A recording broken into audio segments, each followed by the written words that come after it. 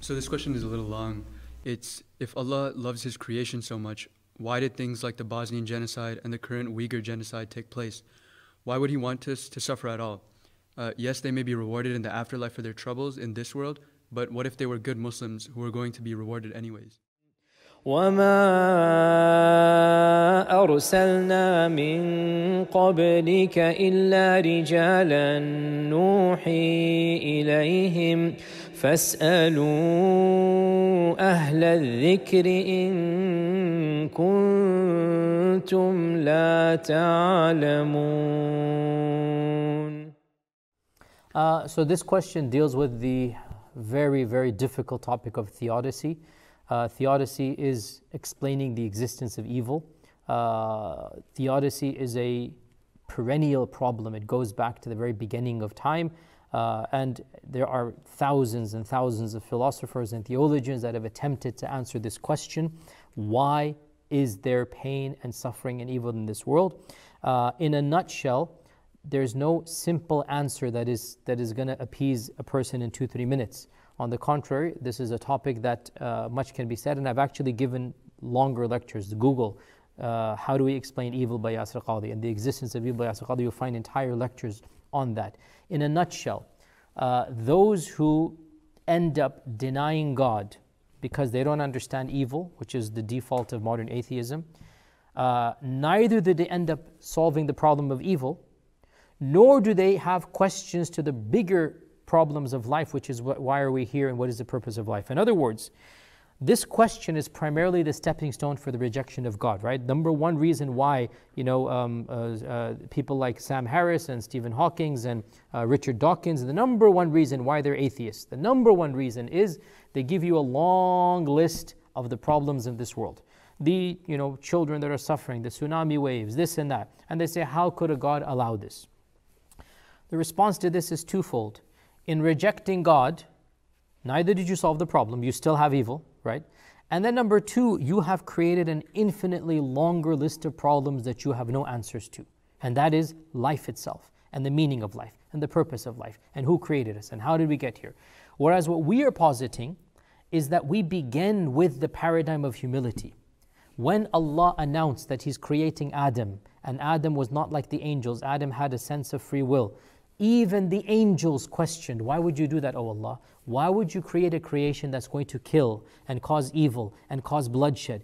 Even the angels asked the, basically the same question Why? What's the wisdom?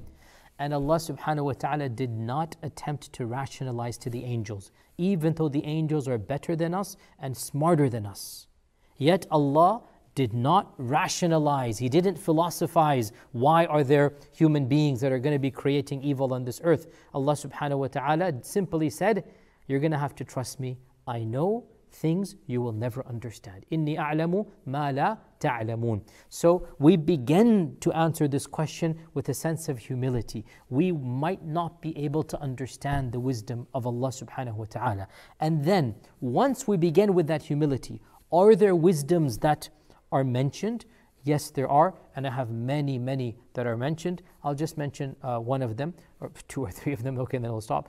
Number one, we firmly believe that the potentiality to attain good from any evil situation is more and outweighs the evil itself. The potentiality for good outweighs the actual evil. Number two, Allah does not love the evil, but Allah loves the good that is generated from the evil. Number three, there is indeed a hereafter, and if you're not going to take the hereafter into account, you will never understand. That child that was suffering, the pain that was happening to the parents, the tsunami waves, everything, there are blessings that come from that in the next life. Now, could Allah subhanahu wa ta'ala have done it differently? Yes, He could have. He chose not to. I can't question Allah's wisdom, neither can you. It's not for me to do that. There's a verse in the Quran. He is not questioned for what he does, rather, they will be questioned for what they do. لا يسأل عما يفعل وهم يسألون. And then the final point that I'll mention, then again, listen to my lectures. The non theist, the, the atheist, essentially, listen to this carefully, demands heaven without doing anything. Listen to me carefully. The non theist is irritated that he hasn't been handed heaven on a silver platter. Because the world that he's positing actually does exist. The world without suffering, the world without pain, the world of eternal life, the world of bliss. It exists. We call it Jannah. And in order to get to Jannah, we firmly believe there's a stepping stone. And that stepping stone is showing how you deal with the pain and suffering of this world. You want that place of no pain and suffering? Then live this world with dignity, with faith, and you shall get that world that you desire. But these people, they're frustrated and irritated that Allah created them and then didn't just hand silver platter, uh, Jannah to them on a silver platter. And Allah says in the Quran that, did you think that Jannah would come to you for free? Do you think you're going to get this blessing for no reason? No. Allah created us with a wisdom and purpose in mind If we live this life the way that He wants, then we shall live with inner peace in this world and with eternal uh, bliss in the hereafter. And listen to my other two lectures online or three lectures, and you'll get more answers than this, inshallah. يا من أجبت دعاء نوح فانتصر وحملته في فلكك المشحون يا من أحال النار حول خليله روحا وريحانا بقولك كون